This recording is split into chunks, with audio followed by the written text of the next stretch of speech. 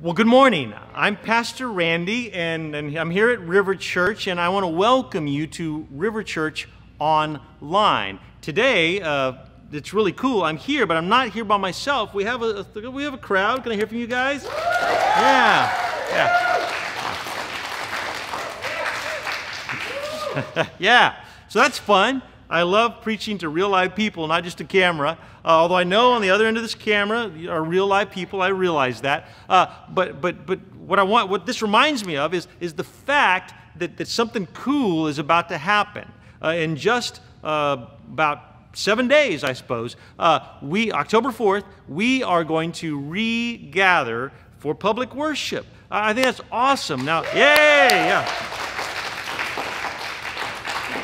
Three things you need to know about that. Three things you need to know about. Uh, number one, um, everyone who comes, you get a River Church mask. You may have seen them. We've got some pictures floating around, but it's it's a mask with our with our River Church logo on it. It's super cool. I've already seen them. I can't wait to get mine. If you if you're here Sunday morning, October 4th, 11 a.m. for our regathering service, uh, just a week from today, when you're watching this video, then you will receive uh, for free a River Church Mass. So that's cool. Uh, number two, um, on Sunday morning, October 11th, um, October 4th, rather, uh, we're going to have a pre-service party from 10:30 a.m. to 11 a.m. So, so don't come at 11. Come at 10:30 for the 30-minute party. Uh, we're gonna have coffee. It's gonna uh, be served in a touchless fashion. We'll maintain some space, but just an awesome time to regather, to get to, to catch up. Uh, to, to, I want to know how you're doing. You maybe you want to know how I'm doing. So 10:30 to 11 a.m on that, on that Sunday, October 4th. The, the third thing I want to tell you,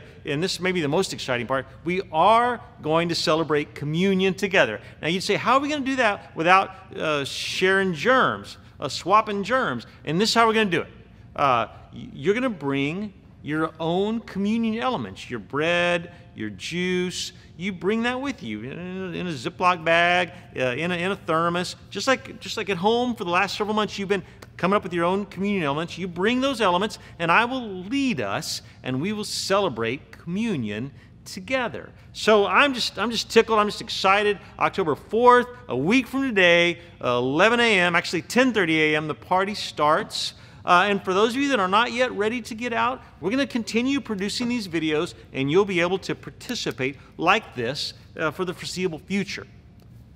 Next thing I want you to know, a lot going on. Next thing I want you to know is that, that this Tuesday night, um, just a few days from now, that's the 29th of September, we are going to have an in person uh, prayer meeting or prayer gathering. Uh, it's a night of prayer, uh, 7 p.m. this Tuesday night, right here. I'll be leading, but you'll be praying by yourself or as a family, and it'll just be a low key, awesome time uh, to pray. Uh, this Tuesday night, 7 p.m., and in the sermon, you'll hear more about that. So just keep listening and you'll hear the rest. Okay, well, we're, we're about to, to get started here. Oh, by the way, if you have any questions about River Church, anything you're wondering, you want to know what's going on, you wonder how you might get connected, go to our, our website, riverchurchrgv.com, uh, riverchurchrgv.com, and all things River Church can be found on that website. All right, well, I encourage you now to maybe get rid of your distractions as worship is about to begin fill up your coffee cup if you want. Um, go get something to write with, uh, uh, uh, something, a notepad. Go get your Bible, and then, then come back and settle in, and we'll get started. River Church Worship online.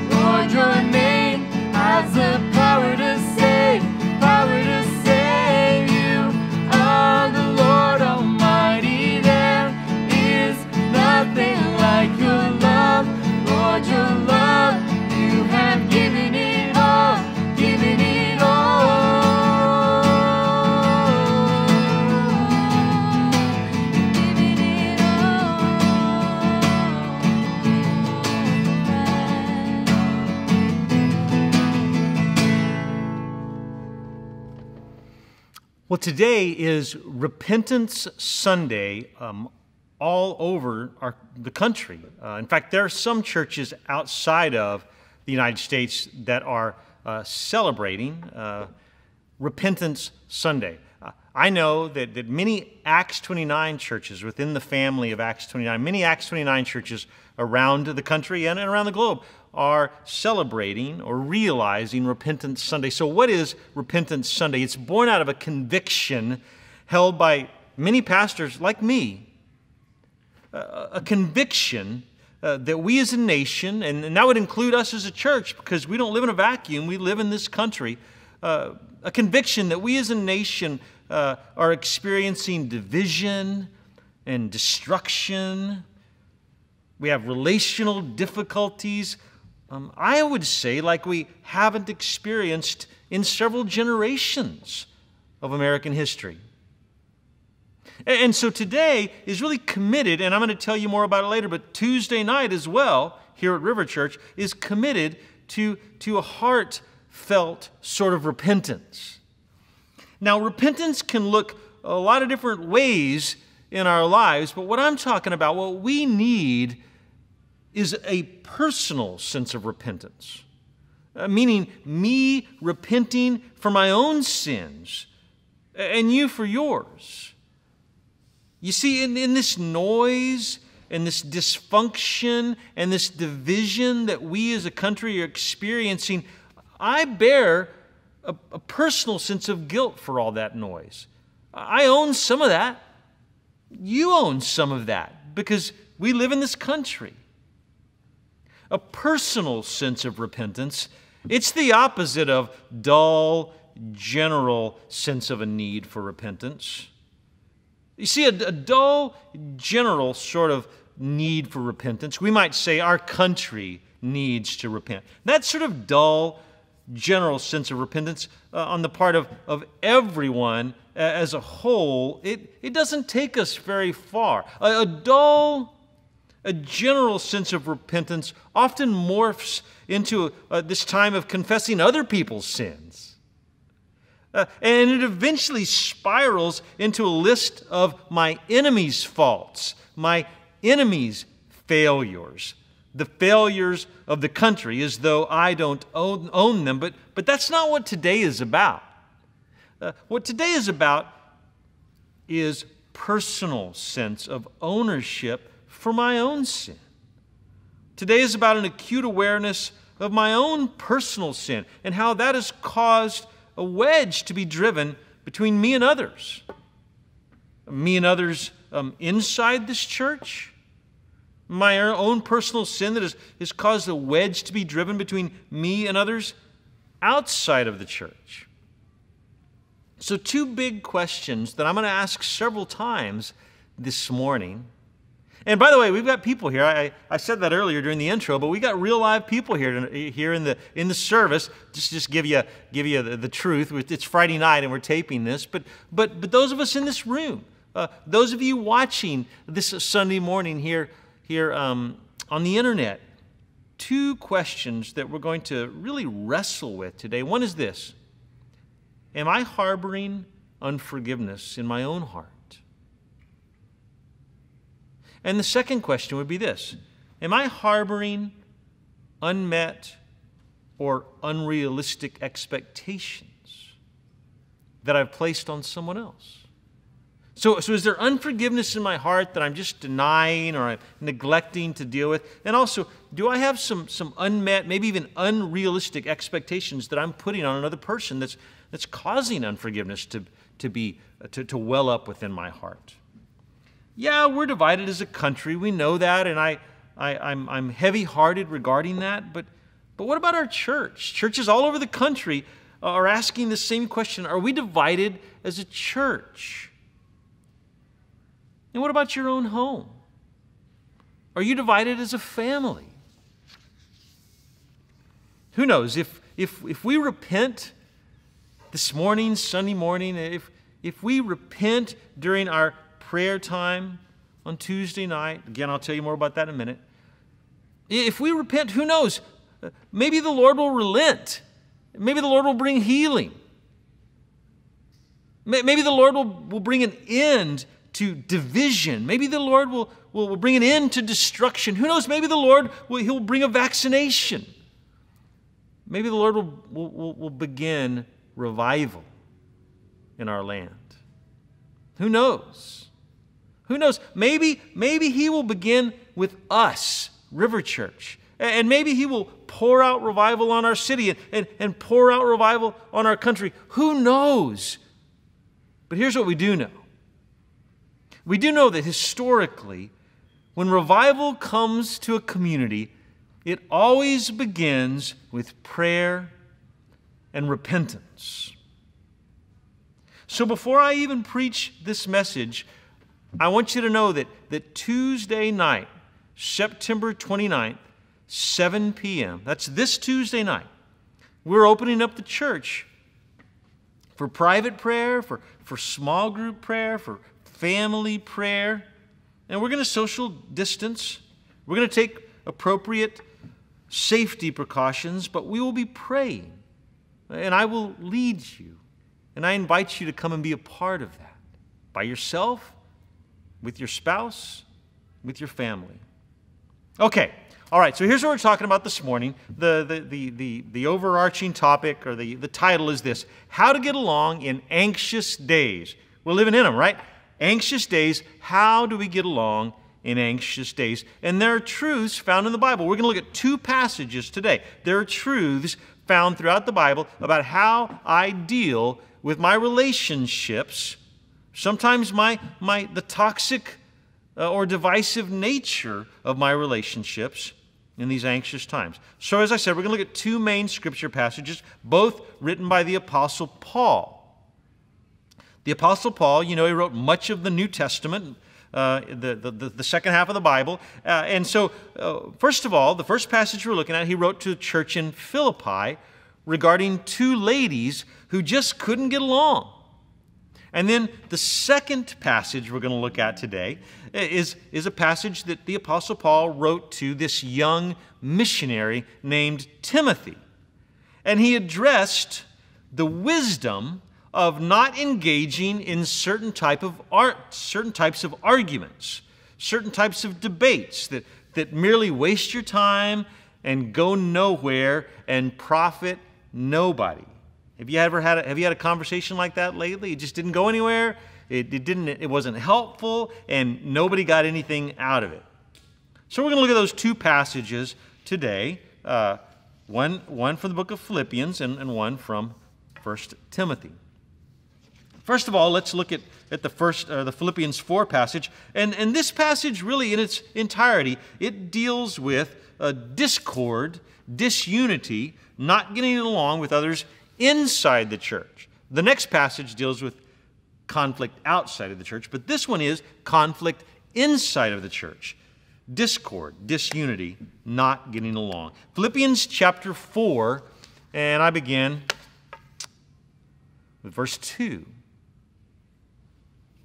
Let's read together. It says, I entreat Euodia and I entreat Syntyche to agree in the Lord. Yes, I ask you also, true companion, and this true companion is an unnamed person. I ask you, true companion, help these women who have labored side by side with me in the gospel, together with Clement and the rest of my fellow workers, whose names are in the book of life. So he's esteeming these people. He says, You're Christians, your name is in the book of life. Help these two ladies. Going on with verse 4. It says, Rejoice in the Lord always. Again, I will say, Rejoice. Let your reasonableness be known to everyone.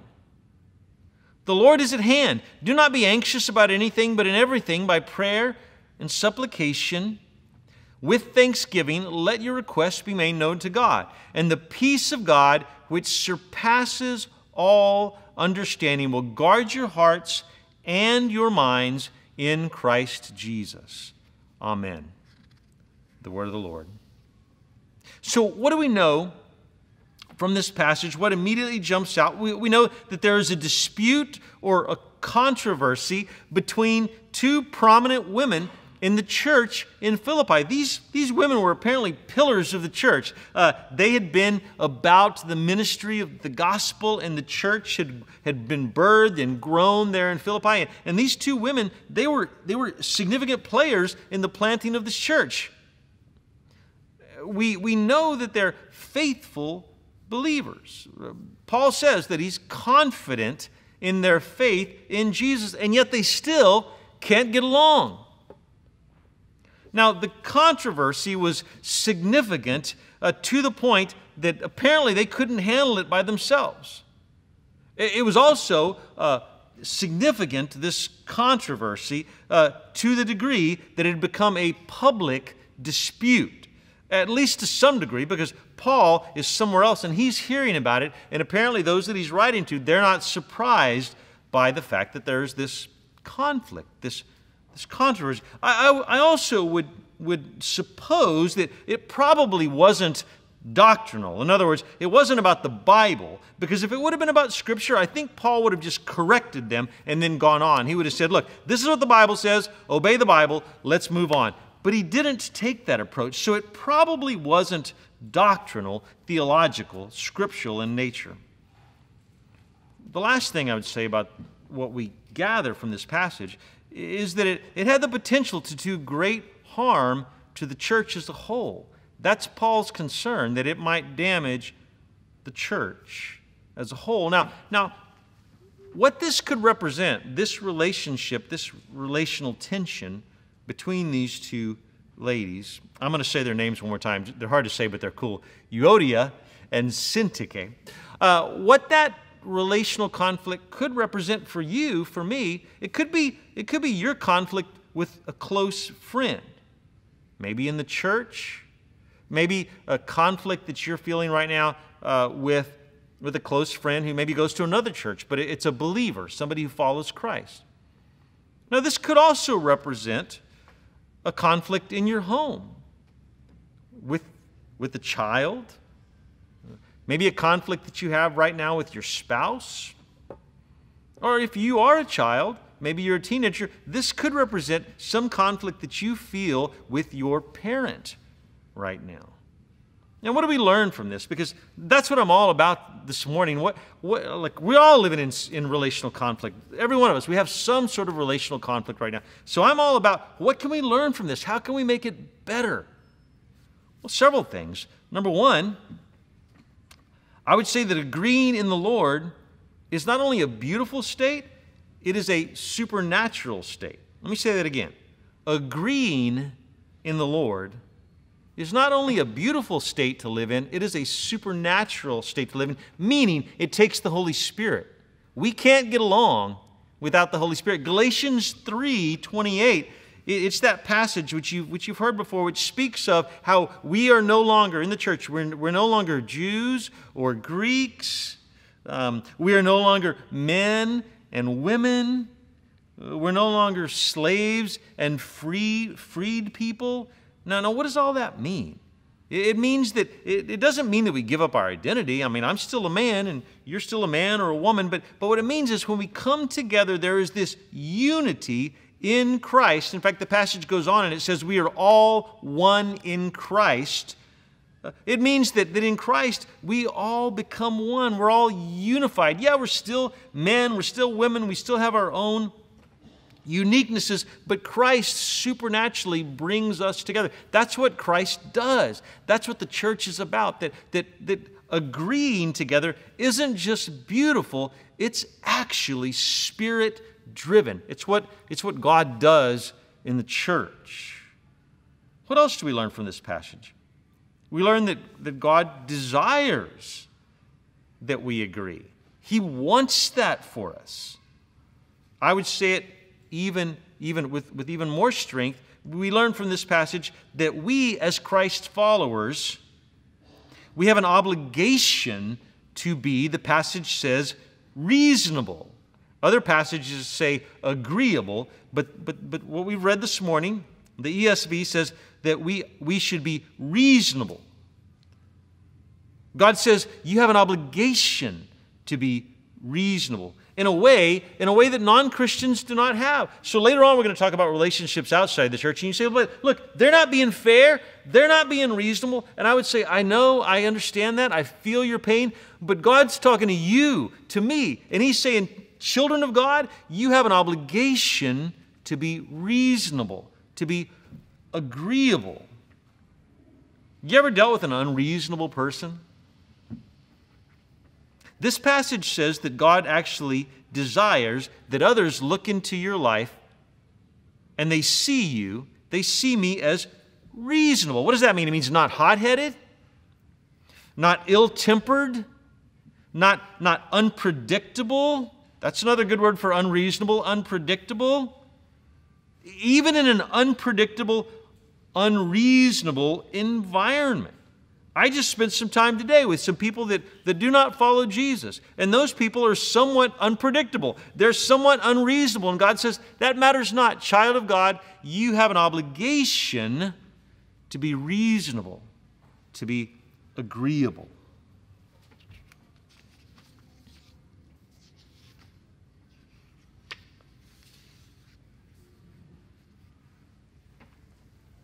Now, the last thing that I would say we learn from this passage is this faithful Christians, we sometimes lose our way relationally.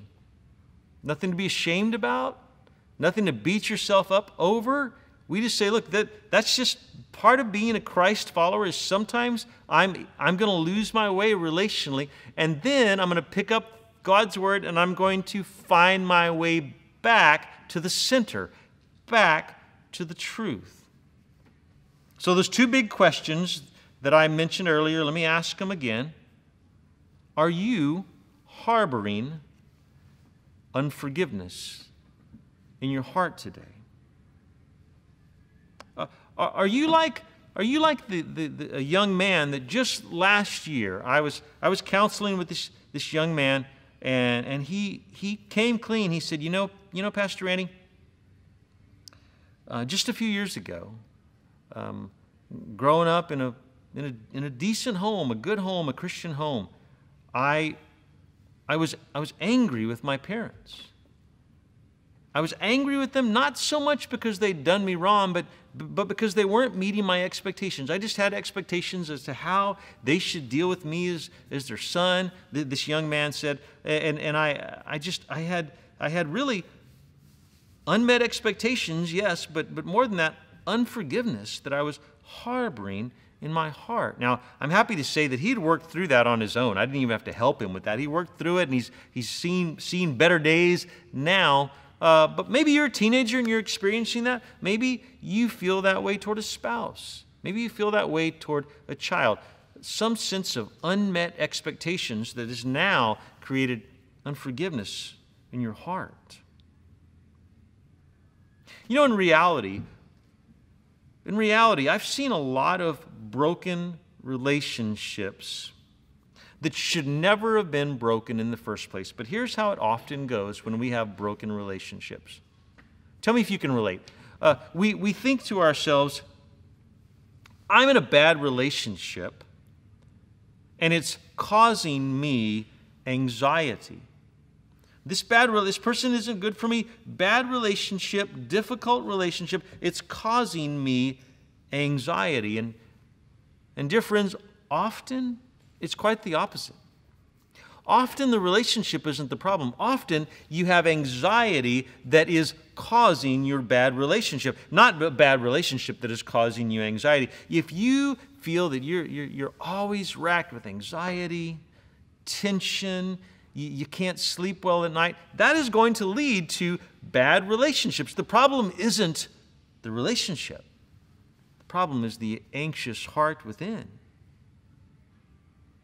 So, wrapping up this first passage today, in a situation where there's tension, in a situation where peace is no longer available, where it's, where it's just lacking, Paul says, really gives us four, four steps. He says, number one, be reasonable.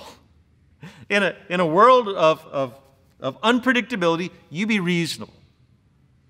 Says, number two, Christ follower, be joyful. Number three, he says, be gentle.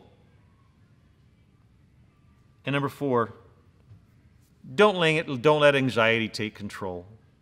Now, we, I preached a whole sermon last week on anxiety, so if you didn't hear it, you can go back and listen to that. But, but the conclusion is when peace is lacking, God calls his children back to reasonable, agreeable relationships.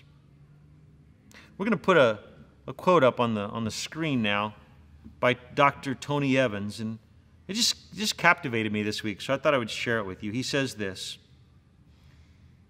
and, and before, I, before I read it, I want you to apply this to your own church, your own marriage, your own home, your own family. Dr. Tony Evans says this God is a God of unity. And where there is disunity and division, his spirit will not dwell. Oh, that we as Christians might fight for unity and reasonableness and agreement in our church and in our home. All right, this next section, we are now going to be talk, talking about discord, conflict with people outside of the church. It could be uh, other Christians, but, but often it's, it's non Christians, people that don't claim to follow Christ, not getting along with those outside the church. Maybe unbelievers, maybe people at work, uh, maybe, maybe people on Facebook, uh, social media in general. And the apostle Paul writes to Timothy actually in 2 Timothy chapter 2 and he says this he says have nothing to do with foolish ignorant controversies you know that they breed quarrels and the Lord's servant must not be quarrelsome but kind to everyone able to teach patiently enduring evil correcting his opponents with gentleness. Amen. Amen. Okay, so what is Paul saying to, to young Timothy? He's saying this there are discussions that we should just avoid altogether. I'm finding myself more and more in those kind of situations in these trying days out in the marketplace, out in the world. Uh, there are discussions that we should just avoid altogether. In other, in other words, don't even go there. Don't even go there. You know it will just lead to a debate and a fight. And, and Paul says, don't even bother. It won't go well. Now, I can tell you in, in, the, in the, the Cawlfield house, and all of, all of us, we're all Christ followers, but in, in the Cawlfield house, even, there's, this, there's some topics that I know, like, I shouldn't bring it up unless I want to hear a fight, uh, discussion in the Cawlfield house home regarding uh, gun control. We just have many and various views on that issue, and I've, I've come to realize don't even bring it up. It's just not going to go anywhere, it will just be ugly. Now, there are topics of discussion these days that, that only divide and only confuse out in the marketplace at work. And Paul says, don't waste your breath, don't waste your time, avoid it altogether. I don't know, a few examples might be uh, in some scenarios, maybe just even bringing up COVID 19. It's just not worth it. There's just too much controversy. Maybe masks and the value of wearing masks. Probably not even something you want to bring up in the marketplace these days. uh, let's see, uh, Russia's meddling in anything ever for all of for all of history, right? Don't even bring that up. Nobody wants to talk about that, not at least not sanely. And now you can add the, the NFL and the NBA to that topic. Like you can't even really discuss it anymore. It's just too controversial. And Paul says, Christians, you have an obligation to be agreeable. You have an obligation to get along. I have another passage. It's the same. Uh, it's the same uh, book of the Bible, the same chapter of the Bible. Just earlier, a few verses earlier, the Apostle Paul says this. He says, uh, 2 Timothy two, verse sixteen. He says, "Avoid godless, foolish discussions that lead to more and more ungodliness." This kind of talk spreads like cancer. Wow. So, what do we learn from Paul's instructions to Timothy? Just a few thoughts here. Uh, the first one be this to engage in foolish, controversial discussion is a non Christian endeavor. That's a pretty heavy statement. The, the act of engaging in foolish, controversial discussion Paul says Christians don't do that. Like Christ followers, we're obligated to avoid that sort of controversy. Now, as a Christ follower, you get to decide okay, Holy Spirit, what are you, how are you leading me here? Is this a foolish, controversial discussion? Because if it is, I must remove myself. I'm going to have to step out, or I'm going to have to take the conversation in a different direction. What do we learn from from Paul's instructions to Timothy. This, Timothy. The second thing I would say is this argumentative behavior not allowed for the believer. You want to be an argumentative person? I'm sorry, you can't be a Christ follower. Paul says that is not how Christ followers act. That's not how we roll. God obligates us to not be argumentative. Another thought is this um, while we can't be argumentative, we certainly, from this passage it's clear, we certainly have the freedom to debate, to correct, but it must be done in love. The passage says this correcting opponents with gentleness.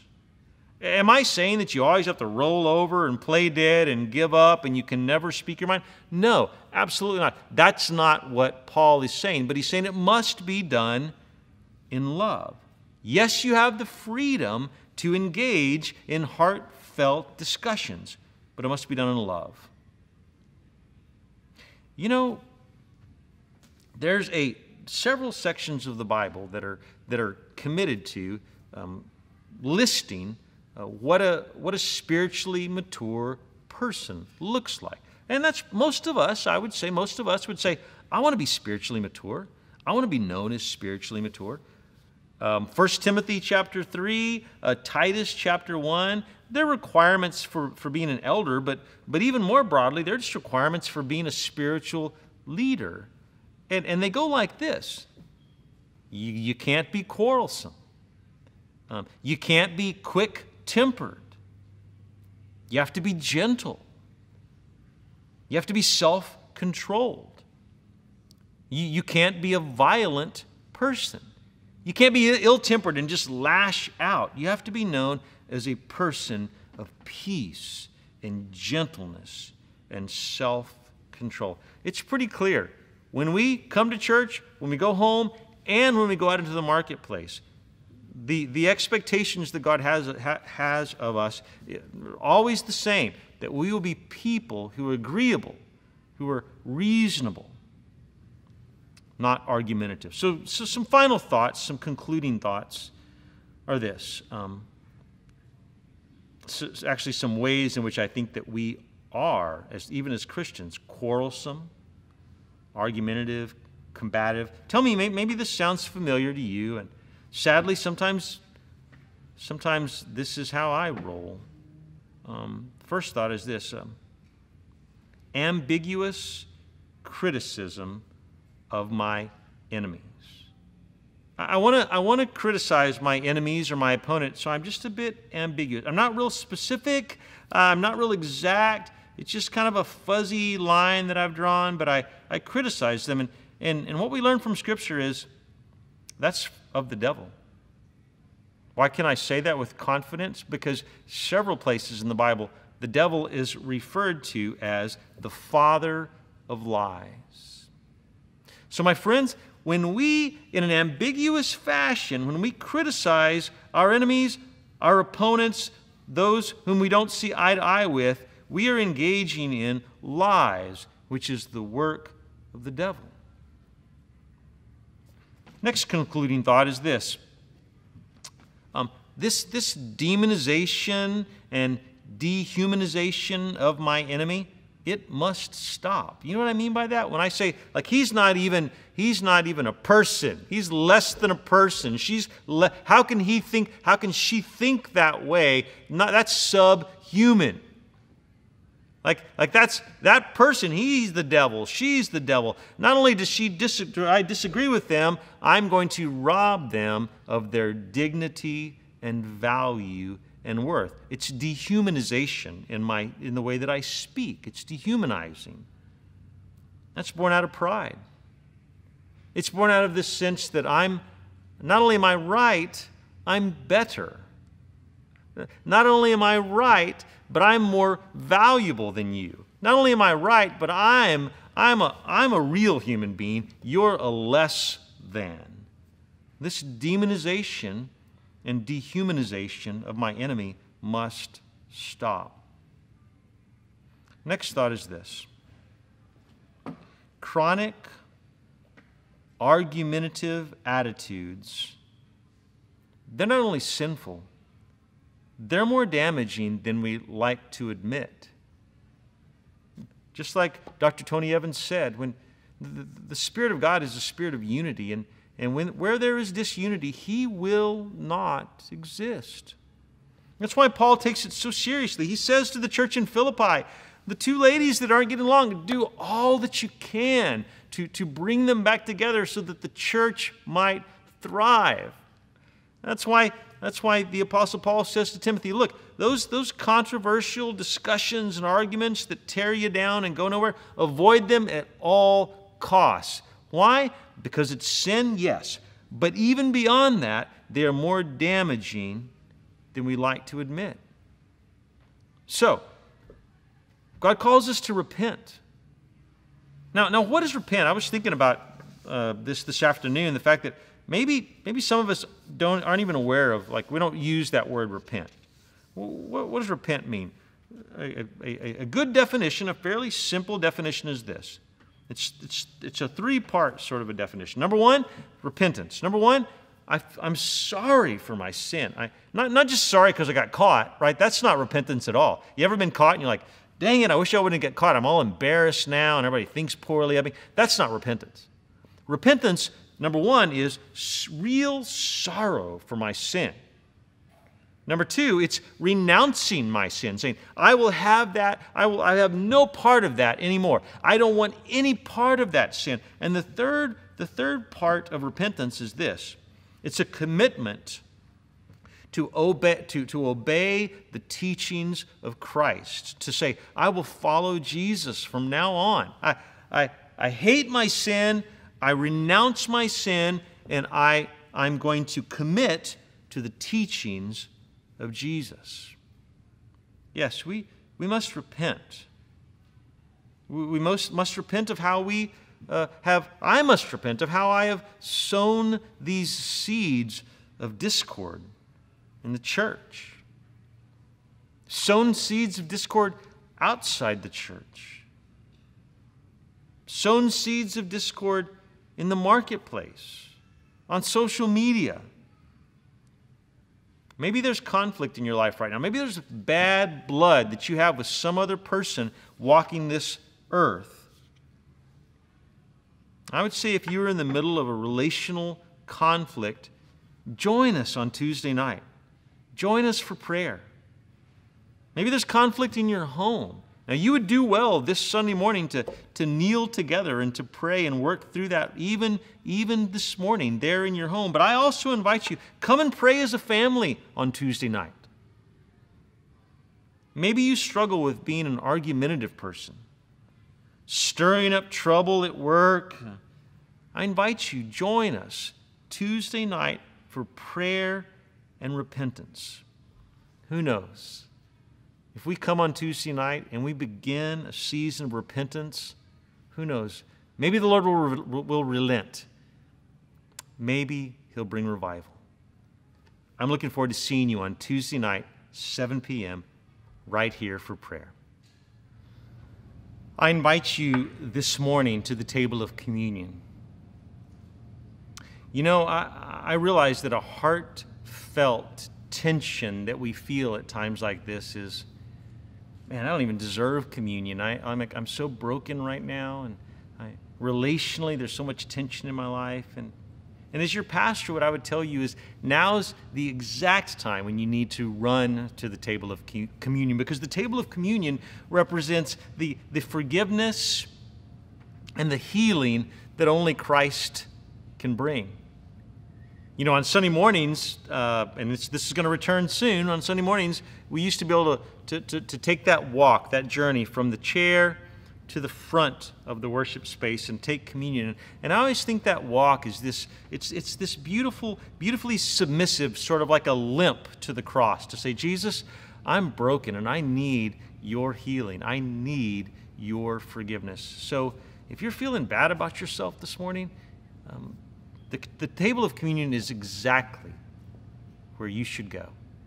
On the night that Jesus was to be betrayed, he held up the the bread and he held up the cup. And, and he said, From now on, when you do this, remember me. He, he, he held up the bread and he broke it and he gave thanks, and his disciples ate of, of the bread. And he said, This represents my body broken for the forgiveness of your sins. And then he held up the cup and he blessed it and he gave thanks. And he and his disciples drank from the cup. And he said, This represents my blood, which is shed for the forgiveness of your sins. Jesus says, From now on, do this, remember me. And so, Jesus, that's what we do this morning. We remember you. Uh, you, were no, you were no victim, you were a conqueror. You, you defeated sin and death and the cross, and you brought for us new life. And so we celebrate that. Right there in your own home, dear friend. Maybe you're by yourself. You serve yourself. Maybe you're there with your family members or friends. Serve one another. And in so doing, celebrate the goodness of Jesus. Amen.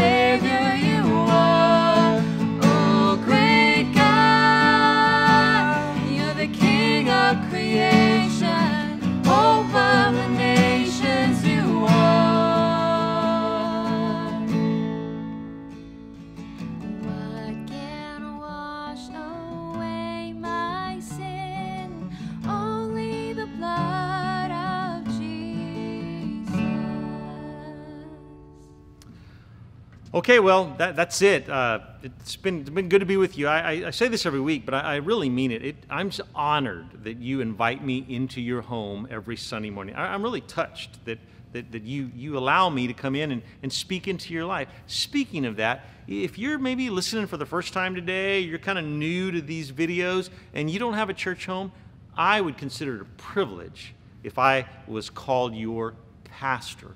So if you want to get connected at River Church, um, go to the website and check us out. Send me a personal email, randy at riverchurchrgv.com randy at riverchurchrgv.com. And I'll, I'll tell you how you can get more connected. If you have a need that we, the elders, the pastors at River Church, can meet, send me an email, and we'll do anything that we can, all that we can, to help you and to, to meet your needs as best we can. Well, now's a good time for you to, to go to the website and to give, to give online. Everything we do here is funded by your good gifts. And so many of you have been faithful, continue to give so sacrificially and beyond over the last six months. Uh, and the way that we do that now is we go to the website. It's, it's quick, it's easy, it's intuitive. Uh, go there. Uh, you can also mail in a check if you'd like, and, and the mail in address is there on the website. All right, well, so coming up this week, uh, in a couple of days, is our, our, our, our uh, prayer gathering Tuesday night, 7 p.m. I hope to see you there. I'm looking forward to it. Um, and then, and then a week from today, our regathering for worship. I'm, I'm tickled. I'm looking forward to that. And in the meantime, stay tuned, stay on the website, uh, and you'll find out what's going on in real time. We'll be putting it out on the website and we'll be sending it to you via, via emails as, as soon as we know kind of the next step on this, on this journey toward regathering. All right, well, I think that's it. Love you guys. Enjoy the rest of your day.